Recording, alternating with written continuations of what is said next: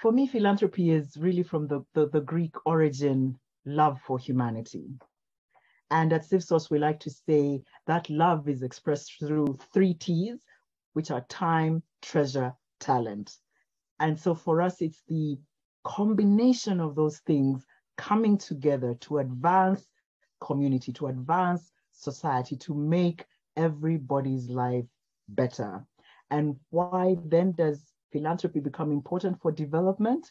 Because it becomes critical in terms of generating resources. We talk a lot in development about ownership.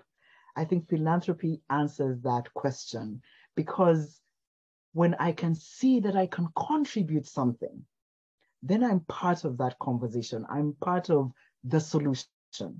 So for me, very importantly, philanthropy enables ownership. The other thing that philanthropy enables in terms of development is tapping into local resource. And that for me, I think answers both the short-term and long-term question and conundrum around sustainability, because it's community coming together, pulling whatever it can for their own advancement.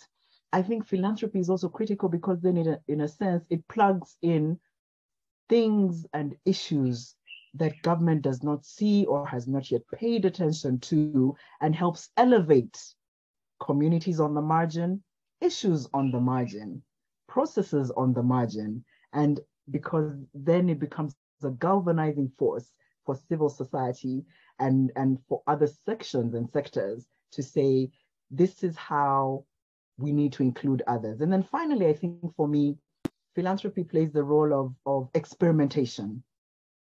Let's try out new ways of doing things. Let's try including new voices in these conversations